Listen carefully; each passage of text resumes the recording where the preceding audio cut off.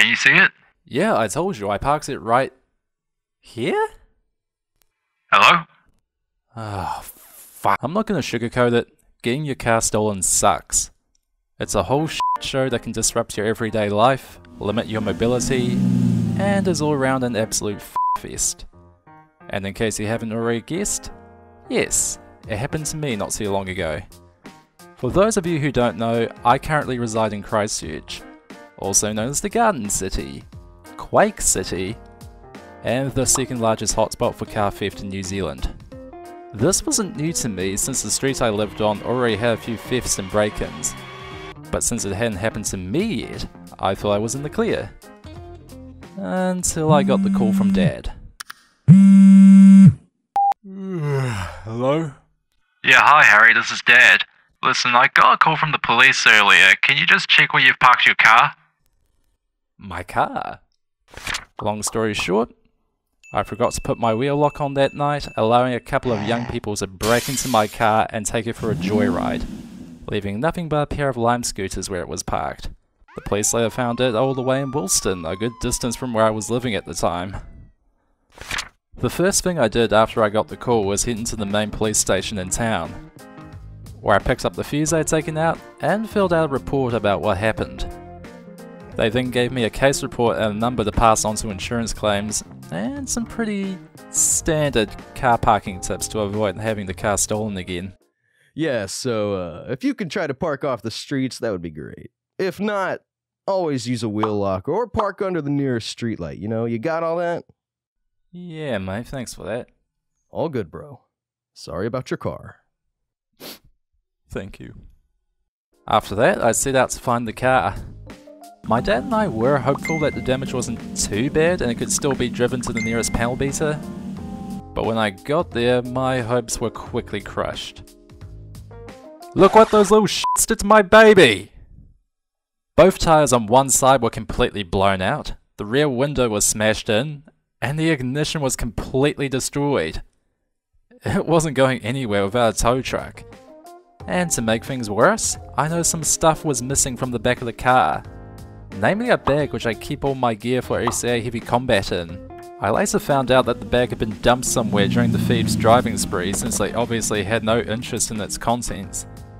And the locals told me they heard them running up the driveway after wrecking my car, which wouldn't be possible for whoever was carrying all that weight. Luckily, they didn't get very far. Apparently dogs were used in their arrest. Crap, run, Gary. Oh no! No, no, no! Gary! Ah! So for some people, getting the car back is the easy part. It's what follows that's an absolute nightmare. Since driving the car was no longer an option, Dan and I had to call for a tow truck to come pick it up. And so I had to set off on foot to meet the guys and hand over my keys and insurance claim number I got from the police. I ended up doing a lot of walking that day. Plus, it was the middle of summer, so I was sweating like a pig. So, I finally got there to drop off the stuff. And by happy coincidence, the tow truck arrived there just minutes after I did. So far, so good. Later that day, I was back at home scrolling through Facebook when I came across an interesting post that was made earlier that morning. Turns out someone had seen my bag and made a post about it. And after getting in contact with the guy and learning which street he found the bag on, I set off again to get it back. And after even more walking and sweating my ass off, I finally got to the street. And lo and behold, the bag wasn't there.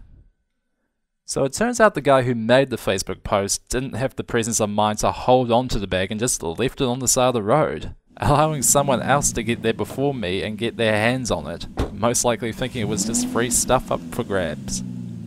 After a bit of investigating and asking some of the locals, all I was able to get was a security camera still of the last known car that was in the area before the bag vanished. So now I had to find out who took off with my bag.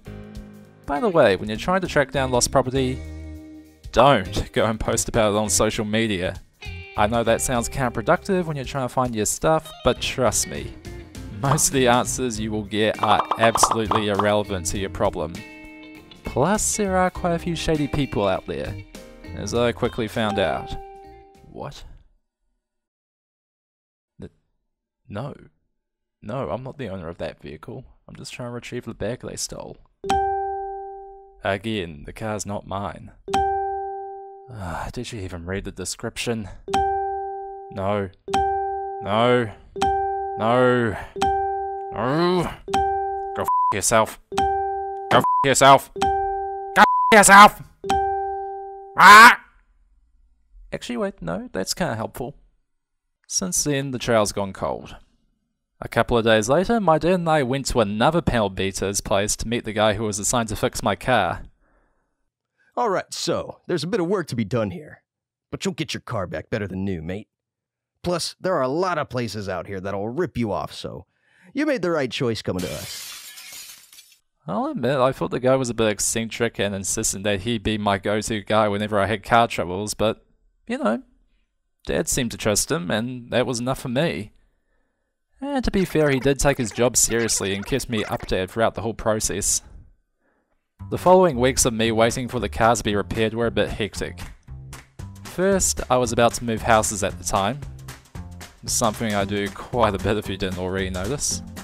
Then, the repairs were off to a slow start due to the panel beaters not receiving any updates from the insurance claim. And finally, I was worried at one point that the car had been stolen again.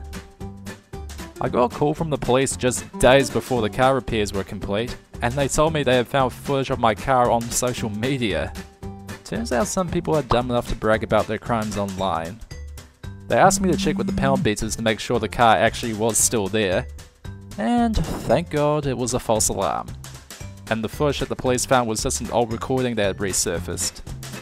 Plus, completely unrelated, but I found out the thieves weren't locals, but instead come down from Wellington. Eventually, I finally got my car back. And I gotta say, the guy was true to his word. My car looked a shitload better. Hell, even better than when I first got it.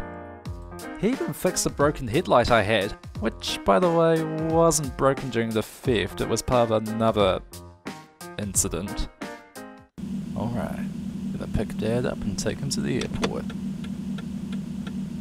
Ah, stupid phone. Ah! Ma'am, I am so sorry. I was in a rush to pick up my dad and my phone fell and. Uh, how bad is the damage? Do I need to get my insurance involved?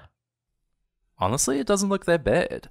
Doesn't look like the paneling was damaged, it's just a Sir. scratch, really. You know, a bit of Sir. paint and primer would look as. new- Sir, I would still feel better if I took down your information for insurance. Oh, yeah, hang on. Anyway, since then I've been more cautious when it comes to parking my car. And after giving one more testimony to the police, the show was finally over and I can move on with my life. Sadly, the bag still has yet to be found, but I'm still keeping my eyes open for it. Plus, my friends in Southern Guard felt really bad for me when they heard the news. Hell, one of them even said if they had the cash, they would buy me some new gear to use. I don't know if they'd actually do it, but it is a lovely thought. So, if you don't want to go through all that and potentially more, make sure you do everything within your power to keep your car safe. Even simple things like getting a budget wheel lock and remembering to use it every night can save you a lot of hassle, and make sure you still have something to drive. With that said, thank you for watching, and special thanks goes to Pink Papi for lending his voice to this video. Go check out his content if you haven't already, be sure to like, share and subscribe to my channel, and I'll see you next time.